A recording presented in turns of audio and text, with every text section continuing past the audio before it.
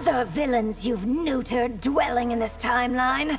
I would rather not reveal that, Empress. How could you let Zaterrans like me be slaughtered?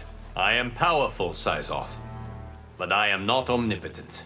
I resent what you've done to me in this timeline. And I what you've done in all others. Crafting a timeline is a complex endeavor. So I should be quiet and not complain? I'm not sure I can forgive you. Being Keeper of Time meant making many hard choices. Know, Baraka, that the heavens await you.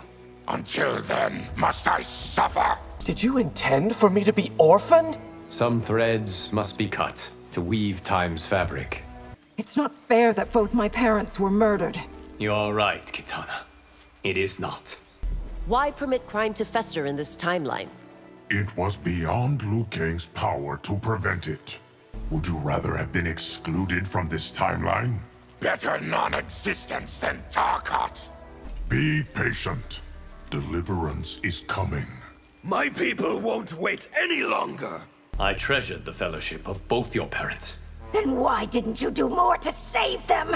Why did Jerrod have to die on my watch? Do not presume that it was Liu Kang's design. Tarkatans are fortunate to have you. If only their creator cared for them as much.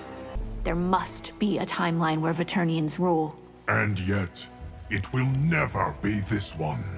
Father, Tribune, Merchant, yours is a life well lived. It was until Tarkat took it from me. I understand your rage, Baraka. How can you? You've never faced death. I doubt we've seen the last of other timelines. Which is why we remain vigilant, Kuai Liang. Tarkat is a cruel fate, Geras. As Liu Kang has told you, we cannot cure it.